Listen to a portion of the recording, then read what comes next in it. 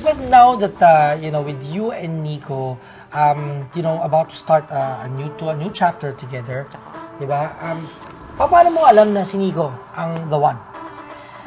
It's super annoying to say this because every time someone told me this before I got like, I was like, can you please just.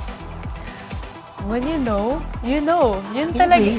Yun talaga yan. Yun talaga yan. I mean, of course, the first time you fall in love, it's You the always first think time. it's the one. Yeah, because it's the first time you feel these kind of emotions for someone else. So, so you don't understand it and you really feel like siya na yun. But then you're you're just young and you go through different.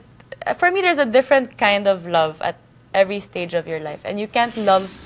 Uh, you don't have the same love for someone twice in a lifetime. So the love I have for Nico now is different from the love I had with my first or second boyfriend. I'm not saying it's better or not. I'm just saying Different. it's different. And at this point, like of course, with nowadays there's so much divorces and there's so much things like that, uh, annulment, husbands cheating, wives cheating, maybe a little bit less. but um, no, no. Nowadays the girls are modern. Yeah, exactly. Both are both are subjected to the same Um, Yeah. uh, levels of I, ano, di ba? I feel like it's important for you to find the person that you're okay to fall in love with every 10 years. Feeling ko yan. Kasi people change. Like, in, in 5, 10 years from now, I'll not be the same Solenn. I won't have the same views. Uh, so I feel like you need to settle with someone that you know whatever happens, you if you try hard, you can fall in love again with that person. For me, it's That you will never fall out of love with that person, ganun ba? I'm not saying you won't fall out of love. You always love that person. Being in love is different, and for that you really have to work on every. You really have to just redo it, rekindle, reinvent. Uh, And because you guys have been living together for four years, of course, it's a, our relationship is a series of rekindling, redoing, Yeah. relearning.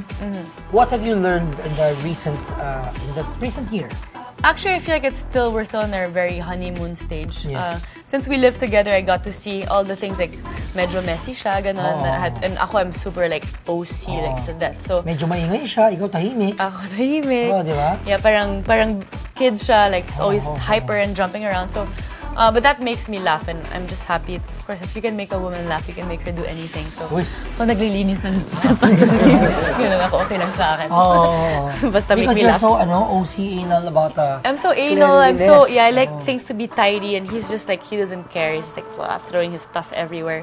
So it's just finding someone that you match with, and you just have to work on on um, fixing what's different between the two of you guys. But it's fun. It's nothing heavy yet. I Yeah, exactly. But you guys have so much harmony, you know? It's so much fun to watch you guys because I always, you know, when we're together, I'm always just watching you guys. We're like a show, now. I know, cute, super cute. Oh,